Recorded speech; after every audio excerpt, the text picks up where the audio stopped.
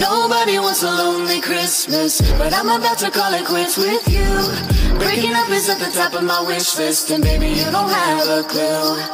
I tell you I love you, but I don't really mean it, cause after this Christmas, sorry, but I'm leaving you. Sorry, but I'm leaving you. Say and you've been thinking about leaving. And though I know it's the truth, I just don't wanna believe it. Cause it's the holiday season, it makes the cuddling easy. Besides, it's kinda cold, and without me, I think you'd be freezing. On top of that, I really like your whole family. And I'm pretty sure your family is fond of me. So think of the catastrophe if you were just to up and leave before we celebrate with gifts and some Bailey's Irish cream. We were supposed to be together like forever, but whatever. Can you pick a time that's better? We could wait for warmer weather. Come on! You gotta be kidding me. Are we really breaking up? We just picked out a tree. Damn, cause I don't really